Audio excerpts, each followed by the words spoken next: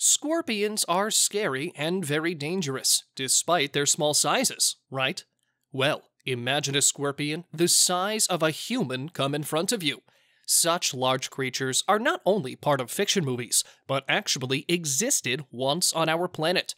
They are called Eurypterid, or giant sea scorpions, and they were pretty terrifying. Let's jump back in time to the Paleozoic era to find out more about these fascinating creatures. This period existed between 541 million and 252 million years ago, long before the dinosaurs era. During this period, the ocean levels rose significantly, making it a suitable habitat for plants, fish, and arthropods.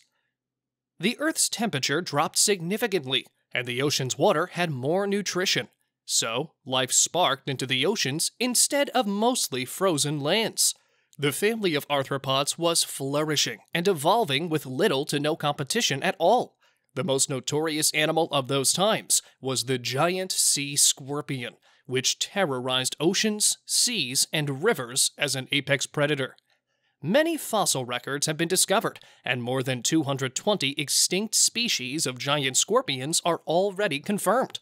The smallest of them was not bigger than our hand, and the largest reached a length of 2.5 meters, which is 8.2 feet.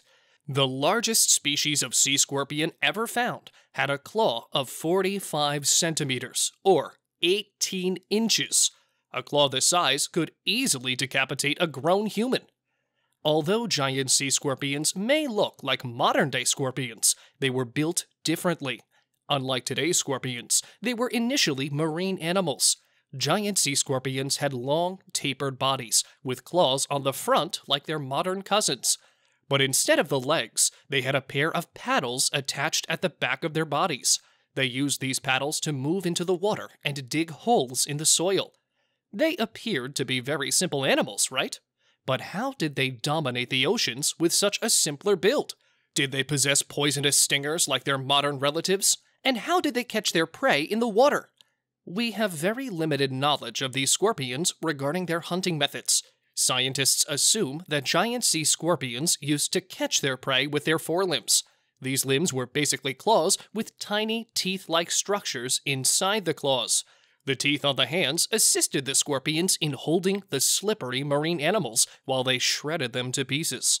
Giant sea scorpions did not have a poisonous stinger like their living relatives but their lower back evolved into a paddle that helped them move in the water.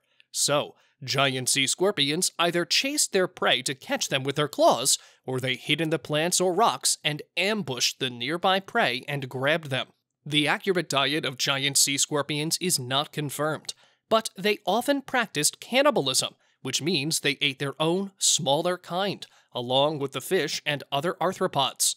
It's assumed that if humans had lived back then, Unluckily, they would have found themselves in the grip of the mighty claws of giant scorpions.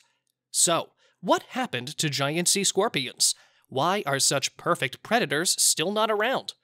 The giant sea scorpions died during the Permian extinction, also called the Great Dying. It was the biggest extinction event in the history of life. Almost 96% of marine life completely died during this event, and it took millions of more years for life to multiply and diversify again. This extinction event took place due to global warming. Due to unknown reasons, the Earth's temperature suddenly began to rise and warmed up the oceans. As a consequence, the oceans lost most of their oxygen, and 96% of animals died due to lack of oxygen. The giant sea scorpions must have gone extinct during the Great Dying Period. However, some smaller species, especially the ones that lived in streams and lakes, survived. But due to an increase in competition for survival, they left the water and evolved as land animals. The thousands of species of scorpions we see today are descendants of those smaller species of giant scorpions.